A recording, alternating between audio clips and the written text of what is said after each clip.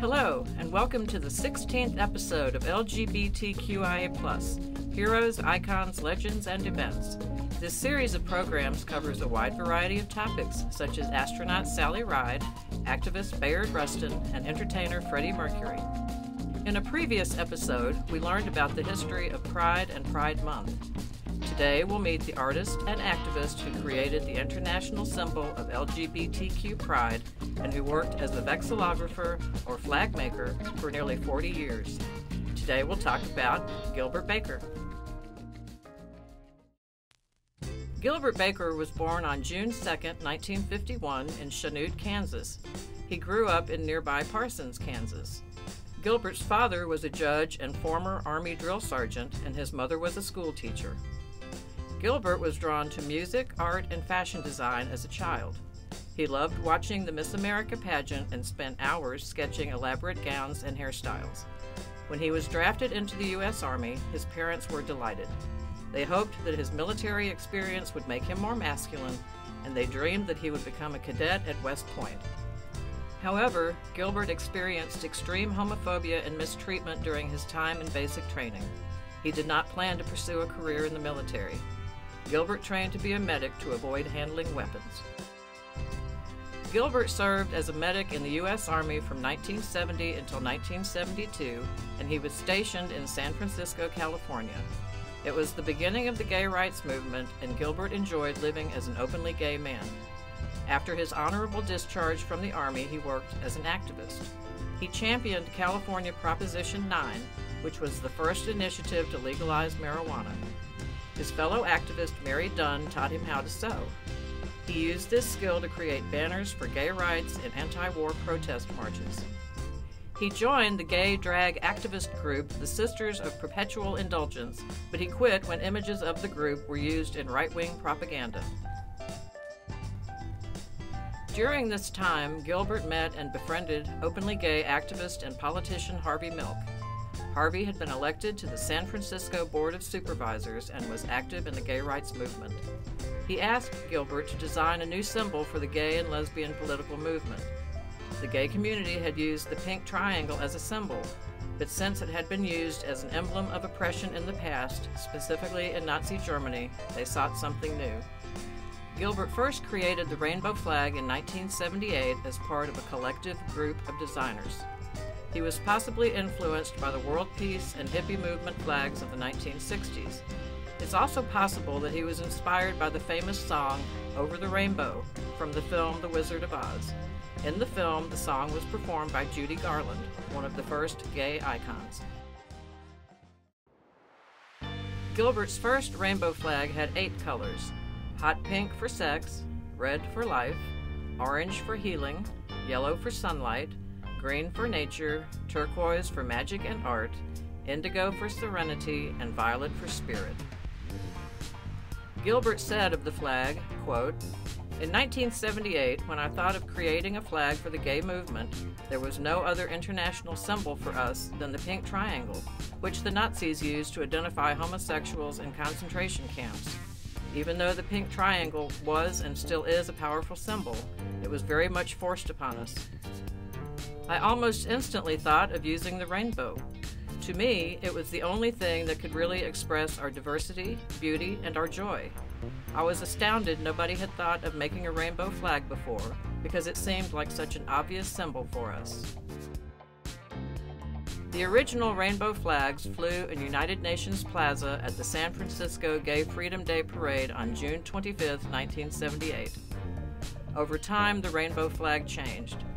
Gilbert had trouble finding flag material in hot pink because it was so expensive, so he changed the flag to seven colors. The turquoise stripe was taken out before the 1979 Gay Freedom Day Parade in San Francisco because the organizing committee wanted to fly the flags in two halves along both sides of the streets.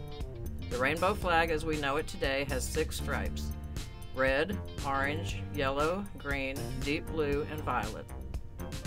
After Harvey Milk was assassinated on November 27, 1978, rainbow flags were in great demand.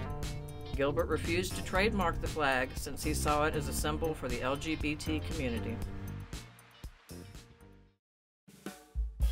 Gilbert became a full time vexillographer when he took a job at Paramount Flag Company in San Francisco in 1979.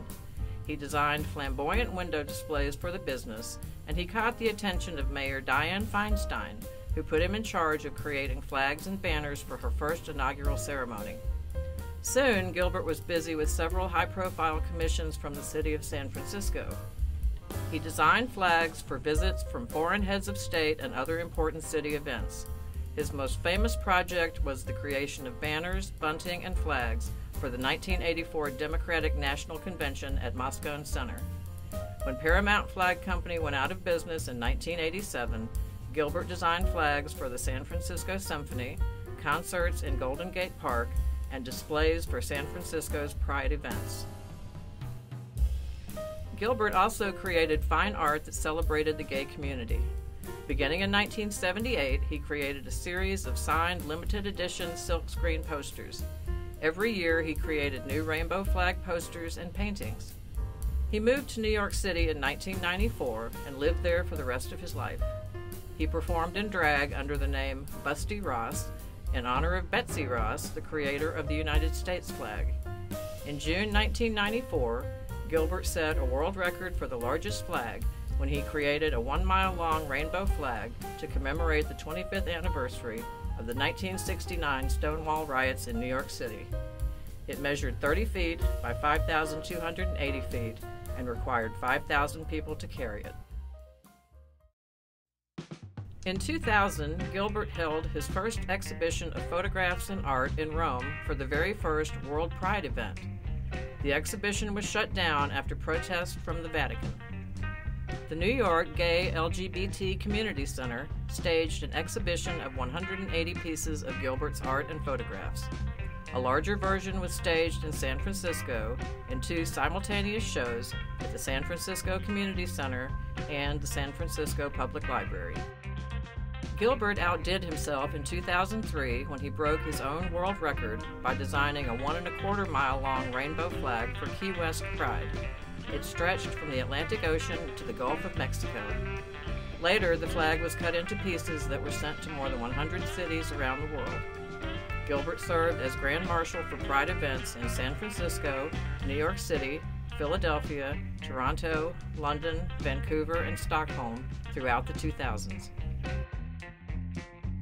In 2008, Gilbert worked on the award winning film Milk, starring Sean Penn as Harvey Milk. He recreated period flags and banners for the movie and had a minor role. That same year, he began a new series of artwork featuring map paintings in gold bas relief. In 2012, Gilbert suffered a massive stroke. His doctors were pessimistic about his recovery, but he had other ideas. He regained his ability to sew and also found a new rehabilitation therapy applying sequins and beads to clothing. During this time, he lived on Fire Island in New York, and he was named Best Dressed at the annual Drag Invasion of the Pines on July 4, 2012. In 2013, the city of Philadelphia honored Gilbert by naming their annual Out Proud Award after him. San Francisco Pride created the Gilbert Baker Award in 2015, and it's now presented every year in June during Pride festivals. Also in 2015, the Museum of Modern Art in New York City asked Gilbert to donate a rainbow flag to its permanent collection. The unveiling took place on June 26, 2015, the same day that the Supreme Court of the United States legalized gay marriage. After the ceremony, the rainbow colors lit up iconic buildings and structures worldwide, including the Eiffel Tower, the White House, the World Trade Center, the Empire State Building, and Niagara Falls. On June 9, 2016, Gilbert was invited to the White House for an LGBT Pride Month reception. He met with President Barack Obama and presented him with a hand dyed rainbow flag. Gilbert Baker died in his sleep at his home in New York City on March 31, 2017. Memorial services were held in New York City and San Francisco in June 2017. In 2018, the Gilbert Baker estate, run by his sister Ardana Baker Cook, assembled an advisory committee to identify events, programs, and endorsements to properly honor his legacy of pride and activism.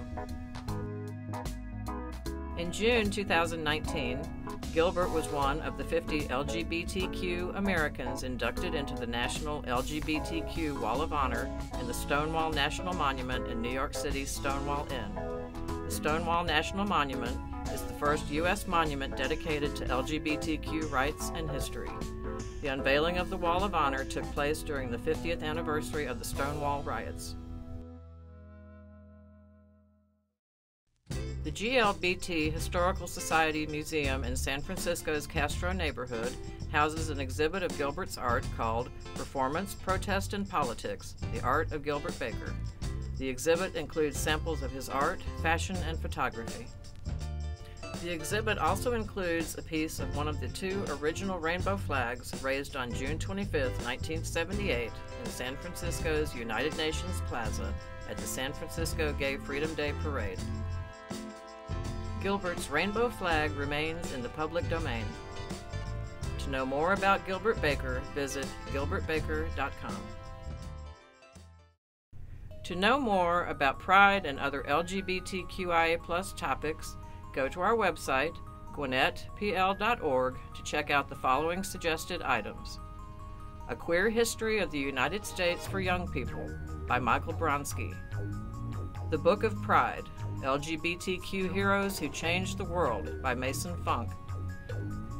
People of Pride 25 Great LGBTQ Americans by Chase Clemesha. Pride The Story of Harvey Milk and the Rainbow Flag by Rob Sanders. Pride The LGBTQ Plus Rights Movement A Photographic Journey by Christopher Measom. Pride The Celebration and the Struggle by Robin Stevenson. Queer There and Everywhere 23 People Who Changed the World, and Rainbow Revolutionaries 50 LGBTQ People Who Made History, both by Sarah Prager. We're Everywhere Protest, Power, and Pride in the History of Queer Liberation by Matthew Riemer and Leighton Brown. Also, visit our website's digital resources to discover Kanopy, our streaming service. Kanopy has a wide selection of films and documentaries about LGBTQIA topics. Thank you for watching.